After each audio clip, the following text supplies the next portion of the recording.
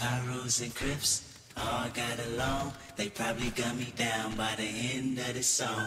Seem like the whole city go against me. Every time I'm in the street, I hear drop, drop, drop, drop. Yo, what is up guys? Welcome back to the channel. Something new you might recently be seeing in a lot of uh, newer YouTuber videos or new videos that you've watched in general. You're gonna see this rectangle where they have the eye icon actually in the middle of the reticle.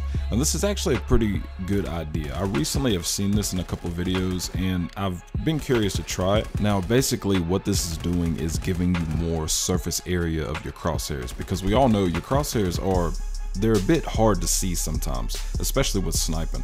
Now, if this is something that you want to try, obviously all you need to do is go to your control settings and go to the customize option and you'll see the eye icon and you're basically going to drag and line that up with your actual crosshairs. It might take you a couple times to get what fits for you because obviously you can customize the size and you know the visibility of it. So just tweak it around and get the right setting for you to where it actually looks nice. Now in one second i'm going to actually talk about some sniping tricks and some questions that i've had uh, that people have asked me about what i'm you know certain things that i do when i'm sniping but to talk about the crosshair just a little bit more, this is actually a pretty nice tactic, and I'm not sure who started it, to be honest with you. I've recently been seeing it, I've not had, you know, I've not seen anything where somebody's just came forward or the originator, but it's a good idea. It really is a good idea. So whoever came up with this, it's props because I've been seeing it and I've wanted to try it out. And basically it just gives you more surface area and it gives you a more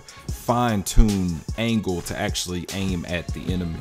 But keep in mind with mobile users, if you actually use this eye icon to be able to look around and you know get a 360 view of your character or your surroundings, especially in PvP, keep in mind you're gonna have to move now to the center of the screen to use that. Now, depending if you actually want to use that for sniping, that is a completely different story.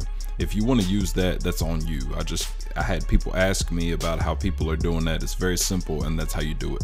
With sniping i covered this long ago long ago. Yeah if there's one thing i'm the founder of in this game it is sniping tips nobody was sniping when i put out quick scope videos i know how to snipe now, obviously, the color of your reticle, despite the eye or more surface area, is a big factor. You want to be able to see your reticle as good as you can because that is literally where your crosshairs are going to be set. I recommend turning your aim assist off with this drill and this practice tip and you really need to do this because it's going to help your aim a lot. Now, they changed the sniping settings, but don't let this confuse you. Basically, all this is is quick scope and fire the sniper rifle without even having to the scope even activate whatsoever. You can literally manually just shoot it like it's a gun, like shotgun or AR, and the scope will not activate.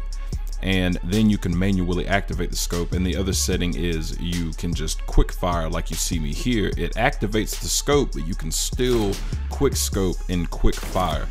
The reticle is the biggest tip with all of this. You need to be looking at your reticle and I recommend doing the balloon drills in your camp to work on your quick scope. The reason I recommend turning aim assist off is because when you're trying to snipe in Nancy or any other PvP area, drones are gonna slowly draw your aim away from a potential headshot.